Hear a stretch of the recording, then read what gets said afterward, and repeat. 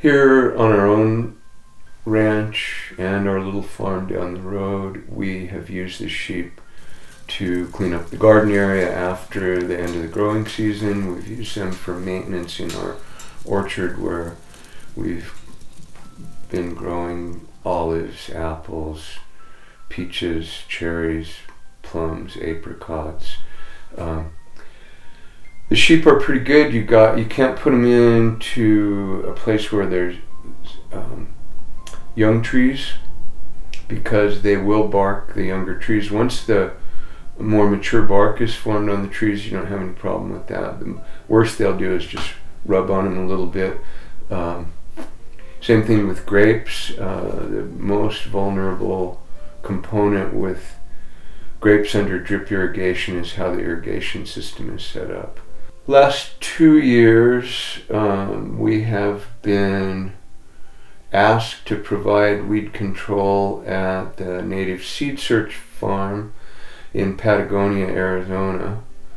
Uh, that farm had been used to grow out the seed collection for Native Seeds Search, a um, 501c3 nonprofit organization founded in Tucson, Arizona. They have spent a tremendous amount of time and energy uh, collecting native and indigenous crop varieties from native and indigenous people, and it's an incredibly important collection. That farm uh, had an, had a real advantage for us in that it had a, a deer-proof fence, allegedly deer-proof, which means a fence that was six or seven feet tall, uh, field fencing, but with a relatively small mesh size, and uh, so we had very little in the way of predator issues. We lost a couple of sheep. Uh, we had two two fields that we would rotate between, so not the greatest for highly evolved rotation. One of the tenants on the farm is Borderlands Restoration Network, that is another 501c3 nonprofit headquartered in Patagonia that works primarily with um, high school age youth um, in summer programs, doing uh, hands on uh, watershed restoration work, but they also operate some greenhouses and grow out a significant collection of native plants to be used for um, ecologically appropriate site restoration where there's been a disturbance. And one of the things our sheep do is to keep the greenhouse and grow out areas free of non-native plants and weed plants and provide um, an all-natural means of weed control without using herbicides, without uh, taking extreme measures which would cause soil fertility loss, and instead just a day by day gentle eating those delectable, scrumptious little green tumbleweeds and other kinds of annuals and some biennials and even a few perennials and they do a good job. And be, the fact that we've been asked back and thanked for our work makes me feel pretty good. We've also done some weed control at a solar farm uh, north of Willcox, Arizona, called the Red Horse Solar Facility. It's operated by a company, I believe they're a California company um, under contract for Tucson Electric Power. Its two sections are about 1,250 acres of solar panels with rangeland grass growing underneath.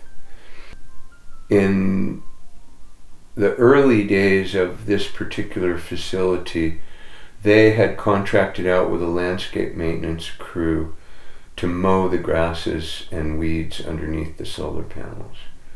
Invariably, these the, the mowing machines that were being used by this company were essentially skid steer tractors with a mower deck mounted on the front and operated by the operator inside of a little uh, single seat cage. So that in theory, the operator has a really good view of what's being mowed and where the mowing deck is going and so forth, so that they don't inadvertently chop off uh, a high voltage wire or, or power line. Unfortunately, rangeland is characterized by uneven terrain and rough surfaces and the presence of rocks and various other things like that. And so almost every time the mowing crew came out to do routine maintenance, they shattered solar panels and shut down portions of the array and cost the company, the managing company, significant income and significant cost for repair of the damage. They became pretty open to the idea of using sheep for grazing management um, for weed control because sheep don't generally throw rocks. Um, they don't generally stand on their hind legs so they definitely and specifically said no goats. Sheep are fine, but no goats because they were worried, and and the experience had had occurred on other solar farms apparently where goats would stand on their hind legs and nibble the coating, the rubber coating on the wires, and then be electrocuted, but would also shut down the array and again cause similar losses and interruption of power production and so forth.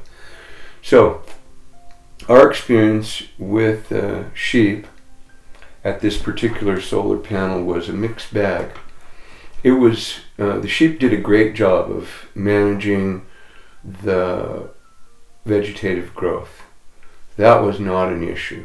If anything, we could have used more sheep because 1,250 acres was quite a bit for the, I don't know, we had maybe 400 head of sheep on this outfit at that time. Um, the problem for us was a couple of other things. One was that we experienced very high predator losses because while this facility was fenced with an eight foot high chain link fence, an industrial quality chain link fence, with concertina on top of it. There were places where the bottom of the fence was well over a foot off the ground. Easy passage for animals to come in or go out. Now, we didn't lose sheep from them leaving. It was uninvited diners that came in after dark. The four legged kind that we've already discussed and the fact that with sheep somewhat scattered over two square miles, um, the guard dogs were hard pressed to keep a good eye on everybody. And because we were not, this was a hour and a half away from home, and we weren't camping out with the sheep. We did not have all night uh, guarding. We didn't have a facility to pen the sheep at night. Um, we we had huge losses. Lost 90 head of sheep or or thereabouts. Um, we kept asking for the managers of the solar facility to take a grader and go around the perimeter fence and and grade an earthen berm up on the low places where there was a gap below the bottom of the fence. And they kept saying, oh, we're on it, we'll be doing that soon. And the fact of the matter is, they never did. And they never offered to make good on our losses. And ultimately, because we didn't have a written contract with them, um, they dismissed the validity of our claim for compensation for the loss of the sheep. So we had a very expensive lesson learned. One of the things I guess that I have come away from that experience with is a pretty firm conviction that there's some room for cross pollination between the realms of electrical engineering and animal science or animal behavior that in the design of future solar facilities um, consideration for the needs of livestock management, who can be a, a very cost effective way of maintaining these solar production facilities, um, would be a real benefit. And that means being able to subdivide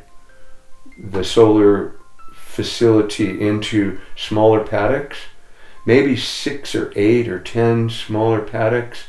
Um, and with buried water lines so that we could move our water around. Sometimes part of the problem was the feed was at one end of the facility and the water was at the other end of the facility and the sheep were ambushed going back and forth between where the food was and where the water was. We would have to take a hard look at where we might go in the future for managing weeds and vegetation in an industrial site like a solar facility. I love the idea. We have personally, our, we've been off grid for almost 30 years. We're powered entirely by solar and wind here, and uh, we're pretty committed to that, you know, um, what some people call alternative energy. At the same time, we were strictly prohibited from subdividing the solar facility or creating paddocks even with portable electric fence because it was felt by the company that it would interfere with their ability to come in and efficiently and, and effectively do their routine maintenance. And so we get that. I understand that. Um, at the same time, either I mean, I think getting multiple uses out of the same piece of ground is a direction that we're going to see most advocates of sustainable um, lifeways uh, pursuing. You'll see crop farms with solar panels at a certain elevation above the fields, providing a mix of shade and sun, thus providing some better water conservation and allowing for the equivalent of two crops to be harvested one in terms of electrical energy and another in, in terms of food or fiber. And um, by throwing livestock, a livestock maintenance crew into that mix for weed control, uh, now we can have a plant yield, a meat yield, a wool yield, an electrical yield, uh, maybe a plant fiber yield like cotton or hemp. It's uh, it's pretty exciting and pretty intriguing, and certainly something that I hope that we can be a part of in the future. But like all all things, when you're one of the pioneers or one of the ones that are out there doing the um, the new things early adopters do, you sometimes have some very harsh lessons and harsh confrontation with the reality that you didn't quite anticipate.